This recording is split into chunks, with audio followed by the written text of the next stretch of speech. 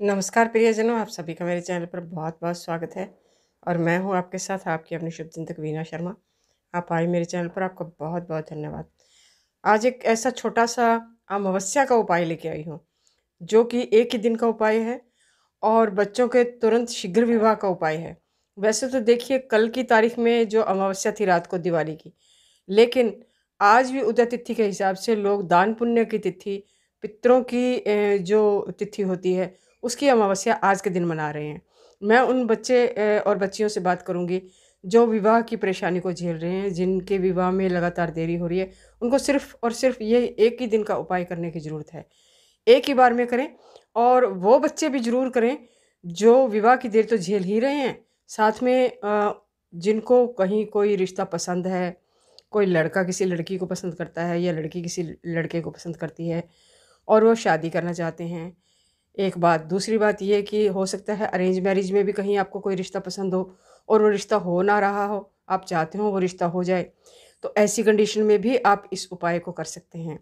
और तीसरी बात ये कि अगर आपको नहीं ध्यान है कि मनपसंद रिश्ता कहाँ है आपका कहाँ नहीं है आपको किसी भी रिश्ते का ध्यान नहीं है तो भी आप इस उपाय को कर सकते हैं।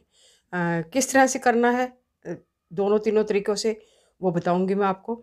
सबसे पहले तो मैं ये कहूँगी कि अमावस्या के दिन आप जिस भी किसी भगवान को मानते हैं मैं ये नहीं कहती शंकर भगवान विष्णु भगवान गणपति बप्पा आप जिस भी किसी देवी देवता को मानते हैं जिस भी जो भी आपका कोई इष्ट देव है इस सिक्के को जो आपने शुरू में ही देख लिया होगा कि एक रुपये के सिक्का को पाए। ये एक रुपये का सिक्का आपको अपने पूजा घर में लेके बैठना होगा सबसे पहले तो। पूजा घर में लेके बैठना होगा उस अपने इष्ट देव या भगवान के आगे इस सिक्के को आपको धो पोंछ के साफ़ करके, हो सके तो गंगा जल में थोड़ा सा धो लीजिएगा, धो के उनके आगे रखना होगा।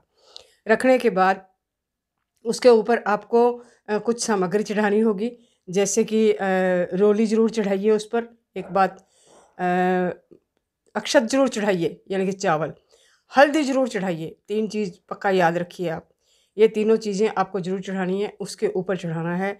एक, मोली का धागा भी छोटा सा आपको ज़रूर अर्पित करना है, भगवान के आगे रखने के बाद। और इसके साथ ही आपको थोड़ा सा अगर सेंट हो आपके पास तो सेंट का छीटा दे दीजिएगा। परफ्यूम हो, सेंट हो कुछ भी हो, स्प्रे कर दीजिएगा। और अगर ना हो ना, चिंता मत करना। अगरबत्ती सेंटेड कोई होगी आपके यहाँ घर में तो सेंटेड अगरबत्ती पास में जला दीजिएगा। ये सब करने के बाद आपको अब अपनी विनती प्रार्थना करना है भगवान के आगे। जिस भी देवी देवता को मानते हैं, उसी देवी देवता के आगे अगर उसका कोई मंत्र आपको आता है तो मंत्र दो पाँच मिनट तक ज़रूर उनके आगे जप करिए। संख्या की चिंता मत करिए कितनी संख्या में करना है। दो मिनट करिए, तीन मिनट, चार मिनट, पाँच मिनट तक उनके आगे बैठ के आप जप कीजिए उस मंत्र का, जिस भी देवी देवता को आप मानते हैं। उनका जप करने के बाद उस सिक्के को, जैसे ही आपका दीपक वगैरह वहाँ किया होगा पूजा के आगे, वो ऑफ़ हो जाए तो उसको सिक्के को रात को, अब यहाँ किसी को ज़्यादा बताने करने की ज़रूरत नहीं है, कि क्या कर रहे हैं, क्या नहीं कर रहे हैं। सिक्का उठाइए और सिक्का उठा के और अपने तकिए के नीचे रख लीजिए। देखिए, यहाँ तक की प्रक्रिया जो थी, तकिए के नीचे रखने तक की प्रक्रिया ये मम्मी पापा भी इस उपाय को बच्चे को ये करके दे सकते हैं। बच्चे अगर ना करना चाहें हाँ उनके तकिए तकिए के नीचे बच्चों के ही रखना होगा। बेटा हो, चाहे बेटी हो, जो अपना मनपसंद विवाह करना चाहता है, रिश्ता करना चाहता है, उसके ही तकिए के नीचे, उसी विवाह की कामना को लेकर ये सिक्का रखा जाएगा। सिक्का आप किस साइड में रखेंगे? सिक्का आप दाहिने साइड में रखेंगे। आप सोच लीजिएगा, आप जैसे ही सोते हैं, आपका दाहिना साइड कौन सा है? उस दाहिने साइड में आप इस सिक्के को उस साइड में रख लीजिएगा नीचे। रखने के बाद सुबह जैसे ही आप उठते हैं उठने के बाद नहा धो लेते हैं। नहा धोने के बाद अब आपको पता है कि ये ए, मैं जहाँ चाहता हूँ रिश्ता जिस शहर में गाँव में कहीं भी लोकल में या कहीं भी कोई भी रिश्ता है जहाँ मैं चाहता हूँ अगर तो आप वो जानते हैं वो साइड। फिर तो आपको घर से बाहर जाना है घर से बाहर थोड़ा सा सुनी सुनी जगह में जाइएगा, जहाँ सुनापन हो, क्योंकि इस काम को करते हुए लोग आपको ना देखते हों। इस सिक्के को ले जा ले जा, ले जाते वक्त आपको लोग देखते ना हों। इसके साथ ही मैं आपको ये कहना रह गया मेरा कि जब आप रात को सिक्के को नीचे रखें, तकिए के तो उस वक्त अपनी विनती प्रार्थना ज़रूर करें, उस व्यक्ति के बारे में इमेजिन करें, उस रिश्ते के बारे में इमेजिन करें, जिसका जिससे जहाँ आप शादी करना चाहते हैं, जिसे आप पसंद करते हैं, आपका मनपसंद रिश्ता है, उसका इमेजिन करें। और सुबह तकिए के नीचे से उठाते हुए भी आपको वो ही इमेजिन करना है, वही विनती प्रार्थना करना है। अब इस सिक्के को, जैसे कि मैंने पहले कह दिया कि इसको घर के बाहर लेके जाएँ, थोड़ा सुनने में लेके जाएँ। सुन में ले जाने के बाद आपको जिस दिशा का पता है तो उसी दिशा में इस सिक्के को फेंकना है।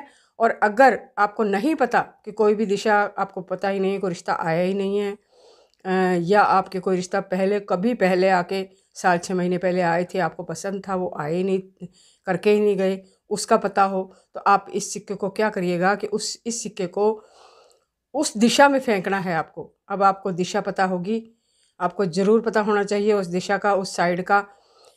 थोड़ा सा अंदाज़ा भी हो ना आपको, जैसे बहुत बार नहीं पता होता कि फ़लाँ गाँव, फ़लाँ शहर, अब मुझे कहा जाए कि दिल्ली किस साइड में है या वो कोई भी एरिया महाराष्ट्र का, बॉम्बे किस साइड में या ऐसे शहरों को पता, मेरे को भी नहीं पता हो सकता कई बार।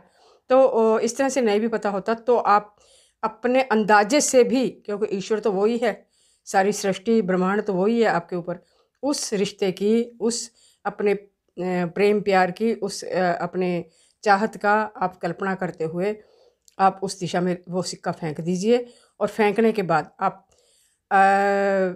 ज़ोर से फेंकिएगा, किधर चला जाए सिक्का, आप चिंता मत करना कि कहाँ चला गया, लेकिन थोड़ा ज़ोर से फेंकिएगा। यही नहीं हो कि आपके पैरों के पास ही गिर जाए।